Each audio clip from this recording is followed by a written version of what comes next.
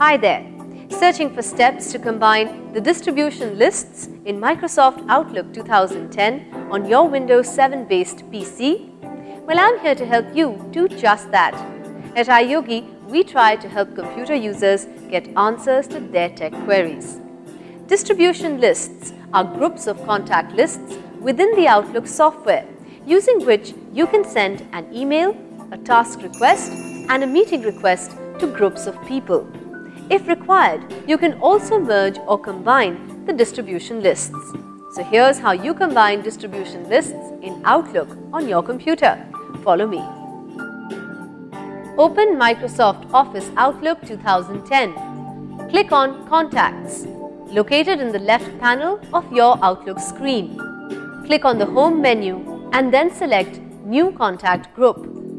Type a name in the Name dialog box this becomes the name of the new merged distribution list that you will create. Click on Add Members and then select from Outlook Contacts. Double-click on the distribution lists you are merging together. Click OK at the bottom of the Select Members screen. Click Save and Close located in the upper left corner of the distribution list screen.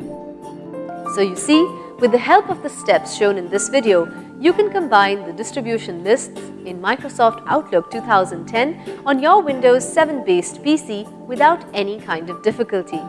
Don't you just love technology?